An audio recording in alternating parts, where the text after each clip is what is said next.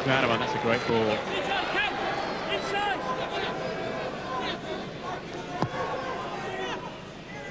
Thomas letting it run on for Leonhardsen, who's turned sharply. The chance shot to Fowler! A brilliant finish from Robbie Fowler.